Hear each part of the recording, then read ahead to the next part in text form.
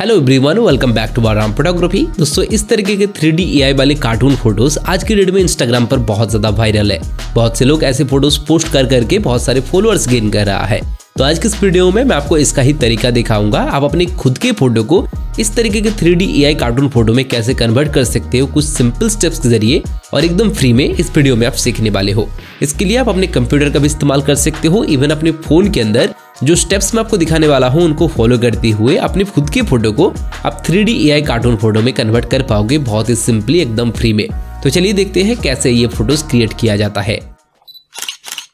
और सो इसके लिए आप अपने गूगल क्रोम ब्राउज़र को ओपन करिए और गूगल में सर्च करिए स्टाइलर ए लिखकर। तो ये वाला जो वेबसाइट है, आपके सामने आ जाएगा, इसको आप ओपन कर लीजिए। अगर आप अपने फ़ोन के अंदर ये प्रोसेस को फॉलो कर रहे हो तो आप अपने गूगल क्रोम ब्राउज़र के अंदर ये थ्री डॉट पर क्लिक करते हुए डेस्कटॉप साइट को ऑन करके रखिएगा और डेस्कटॉप मोड पर इस वेबसाइट को ओपन करिएगा। वेबसाइट ओपन हो जाने के बाद राइट साइड में ऊपर की तरफ़ आपको साइन अप का बटन दिखाई देगा, उस पर क्लिक करना है और इधर से आपको एक नया अकाउंट क्रिएट कर लेना है या फिर कंटिन्यू विथ गूगल करके आप अपने गूगल अकाउंट के थ्रू भी इसमें साइन अप कर सकते हो। तो मैं फटाफट से इधर साइन अप कर लेता हूँ। साइन इन हो जाने के बाद आपके सामने कुछ इस तरीके का यूज़र इंटरफेस आएगा जो कि बहुत ज़्यादा सिंपल है। आपको सिंपली इस न्यू प्रोजेक्ट के ऊपर क्लिक करना है तो इसका जो डैशबोर्ड है, वो आपके सामने ओपन हो जाएगा। इधर आपको इम्पोर्ट इमेज का ऑप्शन दिखाई देगा, उस पर क्लिक करते हुए अपना जो फ़ोटो है, उसको इम्पोर्ट कर लेना है। आपका इमेज आ जाने के बाद ये जो येलो कलर का इमेज टू इमेज वाला बटन आपको दिख रहा है इसके ऊपर आपको क्लिक करना है। और यहाँ पर प्रॉम्प्ट की जगह पर आपकी फ़ोटो में जो है, उसको आपको डिस्क्राइब करना है। बट आपको मैनुअली डिस्क्राइब नहीं करना है, यहाँ पर आपको ऑटो प्रॉम्प्ट करके ये जो बटन दिखता है, उसके ऊपर क्लिक कर देना है तो इसका जो ए है, आपकी फ़ोटो को एनालाइज करेगा और आपकी फ़ोटो में जो है, उस हिसाब से यहाँ पर प्रॉम्प्ट अपने आप लिख देगा। आप देख सकते हो, यहाँ पर प्रॉम्प्ट आ चुका है और इसने मेरे फ़ोटो को बहुत ही अच्छी तरीके से डिस्क्राइब कर दिया है। अब ऊपर की तरफ़ ये जो स्टाइल आपको दिख रहा है, इसको आपको चेंज करना है। इधर से ये जो फ़र्स्ट वाला ऑप्शन है इनोसेंट क्यूटी इस वाले ऑप्शन को आपको सिलेक्ट कर लेना है। और नीचे की तरफ़ ये जो स्टाइल इंटेंसिटी है, इसको आप थोड़ा सा बढ़ा सकते हो और फिर आपको स्टलाइज के ऊपर क्लिक कर देना है। तो ये जो एआई है, आपकी फ़ोटो को एनालाइज करेगा और यहाँ पर आपको कुछ सैंपल फ़ोटोज़ क्रिएट करके देगा, जहाँ पर से आप बेस्ट ऑप्शन को चूज़ कर पाओगे। और राइट तो मेरे सामने यहाँ पर चार अलग अलग रिज़ल्ट आ चुका है, जिनमें से ये जो नीचे का लेफ़्ट साइड का जो रिज़ल्ट है, ये मेरे को सबसे ज़्यादा एक्यूरेट लग रहा है। तो इसको मैं सिलेक्ट करूँगा एंड प्लेस ऑन कैनवस के ऊपर क्लिक करते हुए इसको मैं कैनवस के ऊपर लेकर के आ जाऊँगा। तो यहाँ पर फ़ोटो मेरा तो आ चुका है बट अगर आप मेरे चेहरे के ऊपर नज़र करेंगे तो जो फेस है वो मेरे खुद की तरह नहीं दिख रहा है, ये कुछ अलग ही दिख रहा है बट डोंट वरी इसको हम फिक्स कर लेंगे। तो यहाँ पर अभी हमारा काम जो की है, इस वाले फ़ोटो को सेव करना है तो उसके लिए राइट साइड पर ऊपर की तरफ़ ये जो एक्सपोर्ट का बटन आपको दिख रहा है, इसके ऊपर आपको क्लिक करना है। और जो सेम सेटिंग्स है, ये सेम सेटिंग्स रहते हुए आपको एक्सपोर्ट के ऊपर क्लिक कर देना है। तो आपका जो फ़ोटो है गैलरी में आपके सेव हो जाएँगे।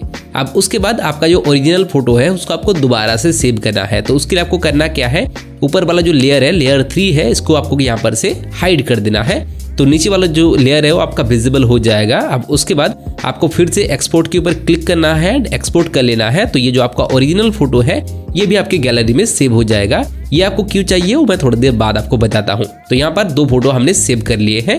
अब उसके बाद आप एक नया टैब क्रिएट करिए और यहाँ पर आप सर्च करिए रीमेकर ए करके। तो ये जो रीमेकर ए का वेबसाइट है, ये आपको मिल जाएगा। इधर आपको आ जाना है। इस वेबसाइट के अंदर आपको सबसे पहला ऑप्शन दिखाई देगा फेस स्वाप का। इसके अंदर आपको जाना है और यहाँ पर आपको दो जो फ़ोटो आपने डाउनलोड करे थे, उनको सिलेक्ट कर लेना है।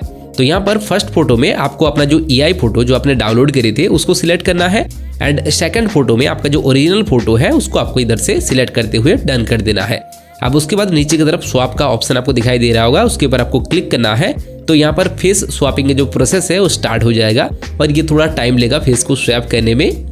और सो रिज़ल्ट हमारा आ चुका है एंड अभी आप देख सकते हो फेस स्वैप हो चुका है। और ये जो फ़ोटो है, बिल्कुल ही मेरे जैसा दिख रहा है। मेरा जो ओरिजिनल फेस स्ट्रक्चर या फिर फेस का जो शेप है, इधर रिस्टोर हो चुका है एंड अपना जो फ़ोटो है, एक रियलिस्टिक थ्री कार्टून फ़ोटो में कन्वर्ट हो चुका है, जिसको हम सिंपली डाउनलोड बटन के ऊपर क्लिक करते हुए डाउनलोड कर लेंगे। अभी जो फ़ोटो मैंने डाउनलोड करी, इसका क्वालिटी थोड़ा कम है मतलब रेजोल्यूशन थोड़ा कम है। तो उसके लिए आप क्या कर सकते हो? इमेज अपस्केलर जो वेबसाइट्स होते हैं, उनका इस्तेमाल कर सकते हो। अपस्केल एआई करके अगर आप सर्च करेंगे तो यहाँ पर बहुत सारे वेबसाइट्स मिल जाएँगे आपको, जहाँ पर से आप अपने फ़ोटो को अपस्केल कर सकते हो, यानी कि उसका जो रेजोल्यूशन है, उसको बढ़ा सकते हो और एक हाई क्वालिटी फ़ोटो में कन्वर्ट कर सकते हो।